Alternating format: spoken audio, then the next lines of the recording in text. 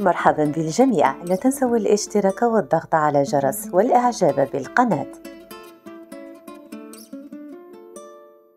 بسم الله الصلاة والسلام على رسول الله. حبيبتي كي راكم دايرين. نتمنى إن شاء الله تكونوا كلكم بخير وعلى خير. وأنتم تشوفوا لا فيديو تاع اليوم إن شاء الله. وبغيت نوجه واحد التحية كبيرة كبيرة كبيرة كبيرة للأخوات اللي راهم مشجعيني ومحمسيني ونقول لكم شكرا على التعليقات اللي خليتوها لي في آخر الفيديوهات. شكرا جزيلا لكم. كما نتمنى النجاح والتوفيق لكل الممتحنين والمقبلين على شهادة التعليم المتوسط وعلى البكالوريا. نتمنى ربي يوفقكم إن شاء الله. ونفرحوا بوليداتنا اللي عقبوا وفوتوا شهادة التعليم الابتدائي والف مرحبا بكم. فيديونا تاع اليوم إن شاء الله غادي يكون تكملة للمطبخ اللي كنت شاركت معكم بداية التغييرات من الطلاء كنا دهنا مع بعض المطبخ كما كنا دهنا مع بعض لي ليمون غسلنا الأواني. بالنسبة أخواتي للبالكونات سبق لي شاركتهم معكم منذ سنتين يعني منذ سكنت في الدار تاعي. هذا ونكتب لهم ربي باش ينصبغوا بالنسبة للأخوات فقط النوه في بداية الفيديو اللي قالوا لي مفيدة على راكي تعيي في روحك مفيدة استحفظي على صحتك. نقول لكم بارك الله فيكم ربي يحفظكم. والله لا توشيتوني في القلب. ربي يحفظكم إن شاء الله. بزاف سقساوني أيضا مفيد على كي تعيي في روحك وأنت مقبلة ربما على الرحلة الشهر هذا. فعلى راكي تعبي في روحك. شوفوا أخواتي يعني قلتها لكم في الفيديوهات السابقة ومازالني نقولها لكم أخواتي أنا مادامني ساكنة في هذه الدار نعتبرها داري وما بغيتش نخليها كيما دخلت ليها أول مرة. يعني بغيتش نخليها في نفس الحالة هذا في حال ما إذا كنت رحلت. أما في حال في حال أني كنت بقيت عام آخر فراني نستغل فيها. وإذا رحلت فصدقة جارية يعني إن شاء الله. ولا يجعلها لي في ميزان الحسنات وربي يعوضني فيها خير إن شاء الله في داري تاع الدوام ولا في داري إن شاء الله تاع السكن الوظيفي اللي غادي ندخلها المرة الجاية إن شاء الله الله يجعلها لي في ميزان الحسنات. أما أنني كيما دخلتها كيما نخليها مستحيل أخواتي هذا الشيء في القلب وأنا ما نقدرش عليه قلبي الصغير لا يتحمل. وكما شفتوا معايا الأخوات بعد لي صبغوا الوليدات البالكونات المهم هما راهم مع الصباغة وأنا دخلت الأواني اللي كانوا ينشفوا في البالكون علقنا les éléments أنا والزوج تاعي وبديت نرجع الأواني كل حاجة في بلاصتها. كما كتشوفوا ال service هنا عندي تاع السمك يعني عندي كاع طباسة تاع الحوت عندي زوج كبار في ال ovale عندي واحد مدور وعندي على شكل سمكة عندي كذلك هذوك لي بلا تاع لي لي mini gratin يعني آه كل واحد individuel عندي في اللون الأسود وفي اللون الأحمر كنت درتهم كاع مع بعض لأنه الألوان كانوا يتماشاو لي مع بعض. وهنا كنت حطيت كاع الأواني الشفافة تاعي. عندي هادو آه تاع التحليات تاع السلطه fruits. وعندي كذلك يعني تاع القهوة والأخر porte-serviettes porte-cuillères وهذوك الأمور. إضافة لهادو les cloches هادو اللي نحط فيهم les éléments وغيرها. كما راكم تشوفون أخواتي حاولت أنني نوزع الأواني الشفافة على هاد البيبان لأنه هادو نحتاجهم يا ربي مرة في الأسبوع ولا مرتين. يعني ماشي ديما نجبدهم فخليتهم على فوق. كما راكم تشوفوا راهم نقيين راهم شابين راهم يلعموا يلمعوا وكلش. يعني كما قلت لكم أخواتي آه بديت نحط كاع الأواني الشفافة في جهه المهم ما تدوهاش الشيرات في يديا راهم مازالهم موسخين بالصباغه آه مازال ما حكيتهمش غاية الغاية ودرت لهم الفازلين باش نحيها. لكن يعني هذيك الصباغة تاع الماء فقط يعني فينيل تتنحى يعني بالماء سخون والغسيل تتنحى بكل سهولة. وهذا هو كان الشكل النهائي تاع الباب اللي كنت رتبت فيه كل الأواني الزجاجية الشفافة. كاين باب آخر ثاني غادي نرتبه معكم. كنت حطيت فيه كل شيء تاع لي ديسير يعني هذوك لي مول تاع 26 بالشكلين تاعهم. كنت حطيت فيه هذا الكيسان أيضا اللي نستخدمهم للتحليات ولا للقهوة باللاموس. المهم كل شيء هذا قدامكم. والآن غادي نفوت أنا وياكم لفقرة التعليقات الفقرة اللي كنت تستناوها كاع.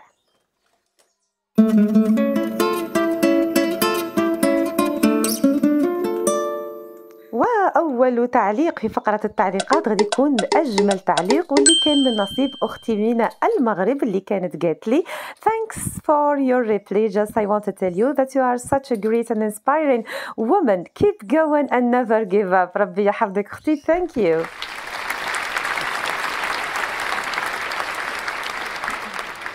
وأحقر تعليق كان من نصيب من الأخت اللي كانت قالت لي معفون كيما وجهك يعيف لا كلامك هو اللي جميل. أخيرا أغرب تعليق واللي كانت قالت لي فيه الأخت.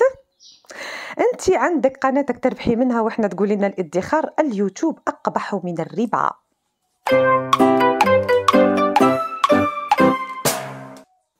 اذا أخواتي كنت شاركت معكم فقرة التعليقات بالمليح وبالقبيح اللي فيها ومازال إن شاء الله على مدى الأيام القادمة بحول الله غادي نزيد الشك معكم تعليقات أكثر وأكثر. فقط بغيت نوه لواحد النقطة كاين اللي راهم يجتهدوا في التعليقات المقرفة والمقززة والقبيحة. فنقول لكم وفروا مجهوداتكم لأنكم راكم تدوا الإثم وتزيدوا الذنوب على رواحكم. وكما تابعتوا معايا أخواتي؟ كنت رتبت معكم الأواني كنت حطيت كل شيء في بلاصة إضافة للمواد اللي نستخدمهم كل يوم كما القهوة والسكر واتاي وغيرها إضافة إلى البذور اللي نستعملهم في المخبوزات والانفوت ونحكوا هذا الأرض مدودة مع بعض.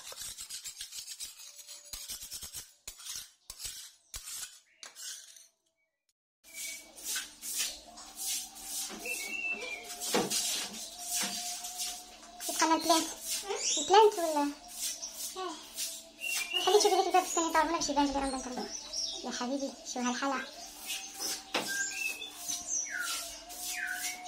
يا حبيبي شو هالحلقة؟ يعني فرحانة بروحي بزاف كي صبغت الباب. المهم أخواتي بعد صبغت الحيطان وكملنا وحكيت الصباغه اللي كنت طيحتها أنا في الأرض. المهم الصباغه تاع هذا زمان وقديم الزمان.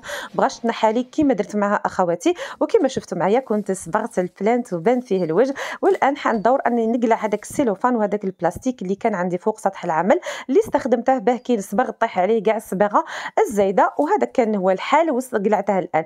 كما كنت تشوفوا أخواتي هذه منذ سنتين كنت شاركت معكم معكم تغييرات المطبخ. كانت بزاف عجبتكم وكان هو الفيديو اللي دار ال buzz للقناة ودار حاجة والحمد لله رب العالمين. راه وصل تقريبا 3 مليون مشاهدة على اليوتيوب. شكرا لكل من شاهده وشجعني وحمسني وخلى لي تعليق. شباب الآن أخواتي جا الدور باش نبدل هذاك الديكور اللي كنت درته هذه سنتين. كما كنت تشوفوا كنت حطيت هذا ال bandeau اللي على الشكل الرخامي اللي جاي في اللون ال marbré هذا باللون الأسود. كنت درت فقط واحد ال bandeau هكا صغيرة باش تبان لي واحد الكورج في وسط هذا ال faïence اللي راه جاي في اللون الأبيض. صراحة عطاتني جمالية للمطبخ واستمتعت بها هادو عامين لكن حان الوقت باش نبدلها. إذا أخواتي كما راكم تشوفوا هذا هو الشكل تاع la faïence اللي راها راكبة فوق البوطاجي تاعي. كما راكم تشوفوا هذه هي لكن ما غاديش نخليها كيما هاك. غادي ندير أنا وياكم واحد التغييرات نتمنى إن شاء الله أنها تعجبكم. والحاجة اللي غادي نديرها هو هذا البابي جديد اللي كنت جبته كما راكم تشوفوا هذا بابي أديسيف أيضا. يعني ورق لاصق كما كنت تشوفوا فيه. جاي في اللون الأبيض وجاي فيه هذيك الرشمة اللي في اللون الأسود. كما تعرفوا اختكم مفيدة عاشقة للون الأسود. لكن ما ترتكبوش الغلط وتركبوه بهذه الطريقة. هذه الطريقة خاطئة. أروح نوريكم كيفاش غادي نركبوه. أول حاجة هي أنني نجيب مسطرة أو شريط قياس ونقيس هذيك الحبات تاعي تاع الفايونس بهذه الطريقة. ندي الطول والعرض تاع هذوك الحبات ونفوت مباشرة للورقة تاعي ونعير عليه هذوك القياسات يعني نماركي القياسات تاعي ونقطع هذوك المستطيلات. أنا هنا جاوني مستطيلات طول الضلع تاعهم 30 على 20 مهم 30 على 20 سنتيم. غادي نحاول أنني نطراسيهم في هذا الورق ومن بعد نقصهم. بهذه الطريقة الورق تاعنا في الظهر تاعها راه فيه مربعات قياس. غادي يسهل عليكم جيدا أنكم تقصوا وترسموا وتطرسوا بكل سهولة. أنا غادي نواصل العملية نحاول نطراسي كاع عدد المستطيلات اللي غادي نستخدمهم لكن ما غاديش نكوفري كلش. غادي نقص ونرجع أنا وياكم نكملوا البقية.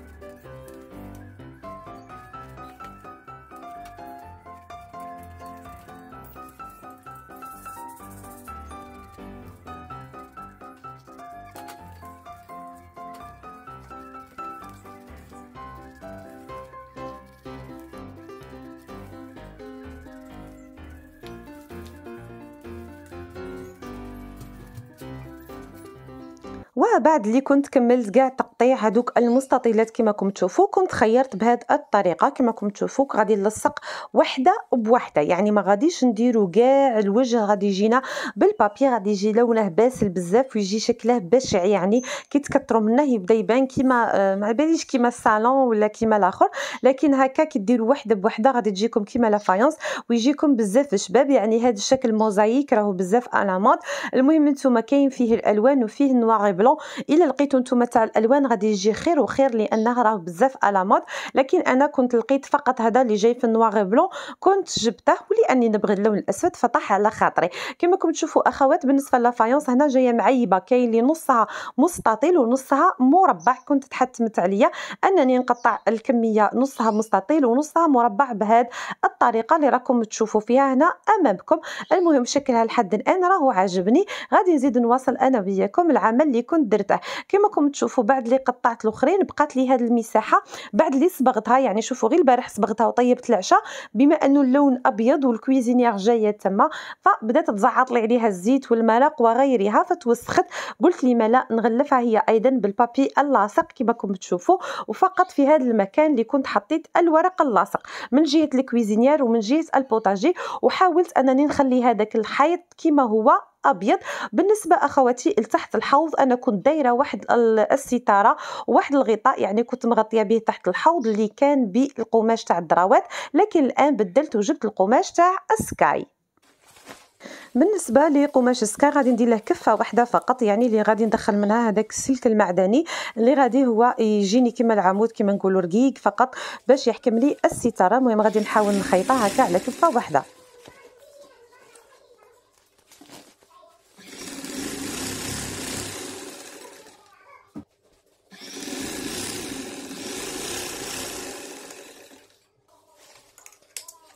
بالنسبة أخواتي للستاره تاع السكاي بنت لي عملية أكثر لأنه نقدر نمسحها بكل سهولة حتى وطاح عليها جافيل ولا عفسة. ما غاديش تحول كما حالت لي الستارة الأخرى. المهم تبقعت كاع ب l'eau de javel وكل شيء. كما كتشوفوا هذا هو جا شكلها ولونها مع سطح العمل اللي كان عندي déjà في آه، la résine باللون الأسود. وهذا اللي بعد سنتين من الاستخدام ننصحكم بها أخواتي خصوصا اللي ساكنين سكن وظيفي ولا مساكن تاع الكراء. ننصحكم ب la résine أنكم تحطوها فوق سطح العمل. وفي الأخير غادي نوريكم النتيجة النهائية تاع البالكونات كما راكم تشوفوا بعد البالكون تاعي اللي كان حالته حالة مدود ومقشر وكلش كانوا صبغوا الوليدات وهذه النتيجة تاعه كنت حولت كذلك النباتات تاعي جبتهم هنايا. بالسياسة غادي نستفهم ونعاود نسقمهم إن شاء الله. كذلك غادي نفوتوا مع بعض نشوفوا كاع البالكون كيفاه جا. ونعاودوا نرجعوا للمطبخ ونشوفوه في شكله النهائي.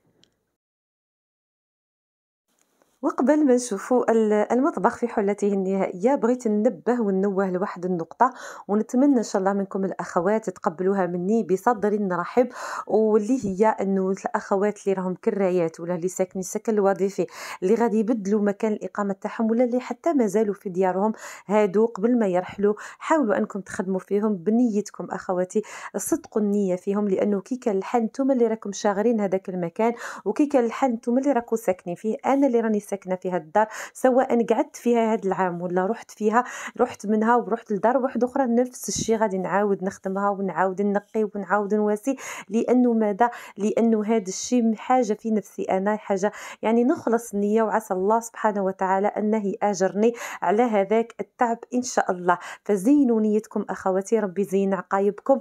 إن شاء الله وما تقولوش ما هذه بشي داري وتعبي راه يروح صدقوني تعب الدنيا.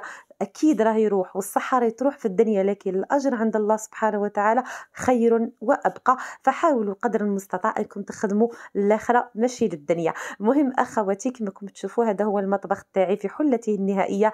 بعد اللي صبغته باللون الأبيض عطاه نصاع ودخل فيه الضوء. أكثر وأكثر كنت خليت فقط هذاك الورق تاع الالومنيوم من التغييرات الماضية لأنه هذاك مكان تاع الأكل والصراحة نفعني نفوت عليه برغوة يخرج يشعل. زدت عليه فقط هذوك les gorges ولا هذوك البوندات باللون تاع ال papier اللي كنت حط حطيت من جهة ال cuisinière كذلك سطح العمل كما راكم تشوفوا مع هذاك آه، ال skaï اللي كنت غلفت به تحت ال potager. كما كتشوفوا بالنسبة لسطح العمل نعاود ننصحكم به هذه سنتين وأنا نخدم عليها la résine أكثر من رائعة سواء بغيتي تخليها كما أنا ولا بغيتي تنحيها وتديها معاك لدارك الأخرى يعني تصلح وتتنحى لك بكل سهولة. كما كتشوفوا أيضا ال potager la faïence جات بزاف شابة كل شيء أنا عجبني أني نظفتها ومسحت كل شيء بالنسبة كذلك les éléments كما راكم تشوفوا خرج لي مع اللون تاع الفريجيدير وسطح العمل وكذلك تحت ال potager كلشي جا متناسق مع بعضياته بال noir بلون باقي لي فقط المقابض غادي نديرهم له في ال argent.